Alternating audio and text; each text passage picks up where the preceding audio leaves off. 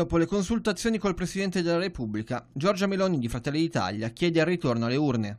Le elezioni per Fratelli d'Italia sono oggi, e lo abbiamo ribadito al Presidente Mattarella, l'unico esito possibile, l'unico esito rispettoso dell'Italia, dei suoi interessi, del suo popolo e voglio anche dire l'esito più rispettoso della Costituzione perché nei lunghi dibattiti di questi giorni a chi di noi chiede le elezioni si risponde beh, insomma, approfondite la Costituzione, perché la Costituzione prevede la necessità di verificare da parte del Presidente della Repubblica che in Parlamento vi sia una maggioranza. Ma la verità è che il Presidente Mattarella si trova costretto a scegliere o, o comunque a tenere in considerazione due diverse prescrizioni costituzionali. Quella di verificare che in Parlamento vi sia o meno la maggioranza per un governo e quella data dall'articolo 1 della Costituzione che dice che la sovranità appartiene al popolo.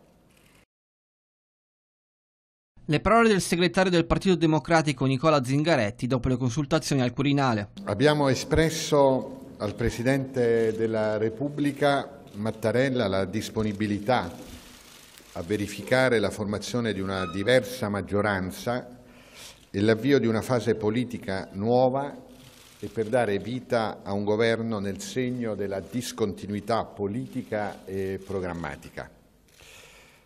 Per noi non si tratta di una scelta facile, anche a causa di un'eredità pesante che ci ha lasciato il precedente governo. Ovviamente, se non dovessero esistere queste condizioni, e lo abbiamo ribadito al Presidente Mattarella, queste condizioni, tutte da verificare allo stato attuale, lo sbocco naturale della crisi sono nuove elezioni anticipate alle quali il Partito Democratico è pronto. Grazie.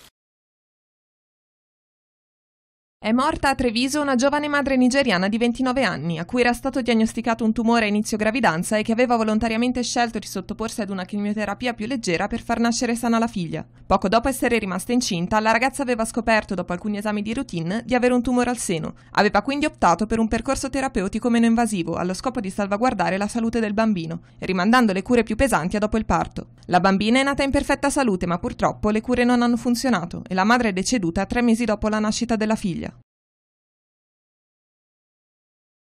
È successo in Germania. Un bambino di 8 anni ha rubato l'auto ai genitori e ha raggiunto i 140 km/h su un'autostrada di notte, parcheggiando poi senza causare danni. La curiosa storia è stata segnalata dalla pagina Facebook della polizia di Zust e poi approfondita dal sito della BBC. Non era la sua prima volta al volante. Il piccolo aveva già guidato automobili in spazi privati e con regolarità anche go-kart e autoscontro, ma la velocità raggiunta lo ha spaventato, inducendolo ad accendere lampeggianti, parcheggiare in una piazzola di sosta e una volta fermo, piazzare il triangolo dietro la macchina. Al loro arrivo gli agenti di polizia lo hanno trovato in lacrime e il bambino si è giustificato dicendo che voleva solo guidare un po'.